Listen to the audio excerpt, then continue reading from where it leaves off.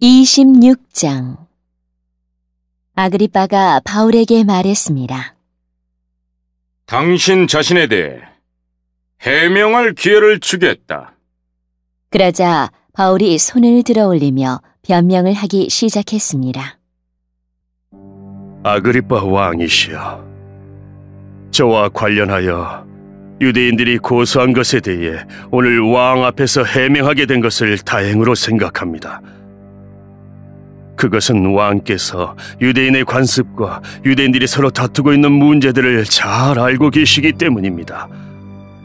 부탁드리고 싶은 것은 제 말을 끝까지 들어달라는 것입니다. 모든 유대인들은 저의 일생을 다 알고 있습니다. 저의 어린 시절부터 시작하여 동족 가운데서 그리고 예루살렘에서 어떻게 살아왔는지 잘 알고 있습니다. 그들이 저를 안 지는 오래되었습니다. 그들은 하려고만 했다면 제가 우리 종교의 가장 엄격한 바리세파 사람이고 바리세파 사람으로서 생활하였다는 것을 증언할 수도 있을 것입니다. 지금 제가 여기 서서 재판을 받게 된 것은 하나님께서 우리 조상들에게 약속하신 것에 대한 소망 때문입니다. 이 소망은 우리 열두 지파가 밤이나 낮이나 열심을 다해 하나님을 섬기면서 그 약속이 이루어지기를 바라는 것이었습니다. 왕이시여, 바로 이 소망 때문에 저는 유대인들에게 고발을 당한 것입니다. 여러분은 어찌하여 하나님께서 죽은 사람을 살리시는 것이 믿지 못할 일이라고 생각하십니까? 한때는 저 역시 나사렛 예수의 이름을 반대하는 일에 온 힘을 쏟아야 한다고 확신했던 사람입니다. 제가 예루살렘에서 했던 일이 그런 일이었습니다. 저는 대제사장들에게서 권한을 받아 많은 성도들을 감옥에 가두었습니다. 그리고 그들을 죽이는 일에 찬성했습니다.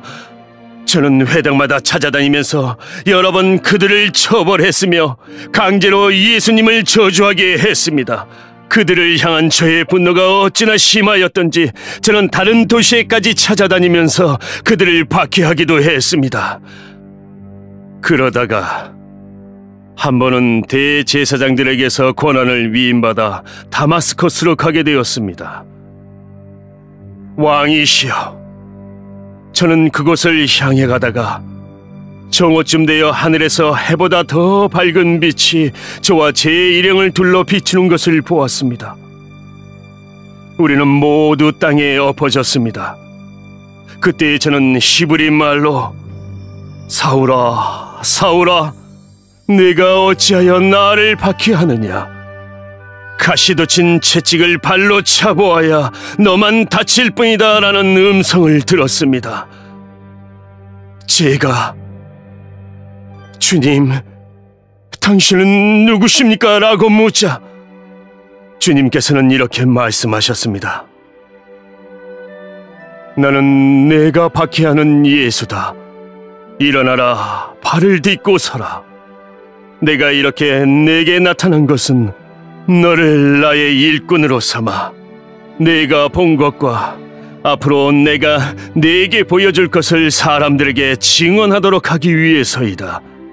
내가 너를 이 백성과 이방인들에게서 구원할 것이며 너를 이방인에게로 보내어 그들의 눈을 뜨게 하고 어둠에서 빛으로 사탄의 세력에서 하나님께로 돌아오게 하겠다. 그리하여 그들의 죄를 용서받을 수 있게 하고 또 나를 믿어 거룩하게 된 백성들과 한자리에 들게 하겠다. 아그리파 왕이시여. 저는 하늘로부터 받은 이 환상에 복종하지 않을 수 없었습니다. 저는 처음에는 다마스커스 사람들에게, 그 다음에는 예루살렘과 유대 지방의 모든 사람들에게, 나중에는 이방인들에게까지 회개하고 하나님께 돌아와서 회개한 모습을 행동으로서 보이라고 선포했습니다.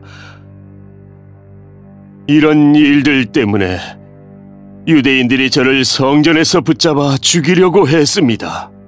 그러나 저는 이날까지 하나님의 도우심을 받아왔습니다. 그래서 지금 제가 본 것을 이 자리에서 높은 사람이나 낮은 사람이나 모든 사람들에게 증언하고 있습니다.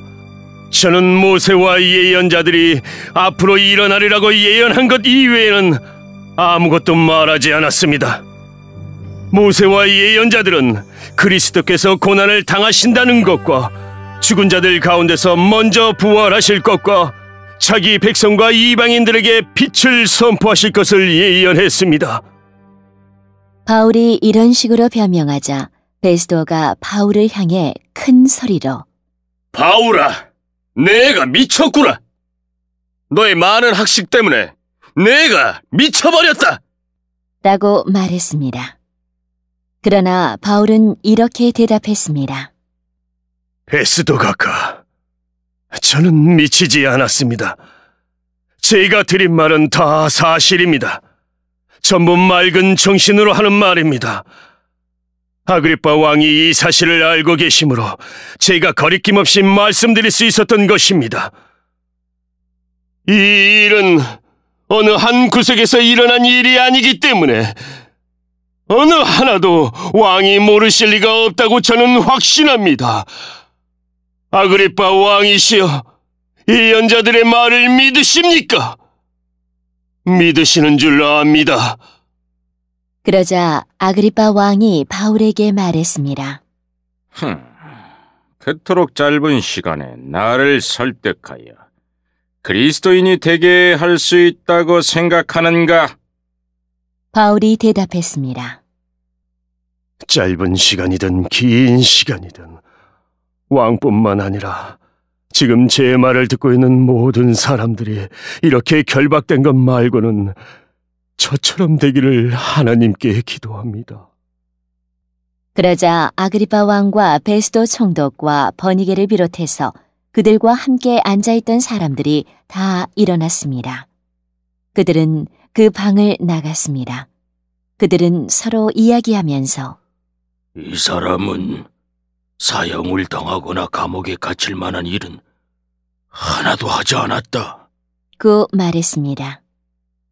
아그리파는 베스도에게 이 사람이 황제에게 상소하지 않았다면 지금 석방될 수도 있었을 텐데.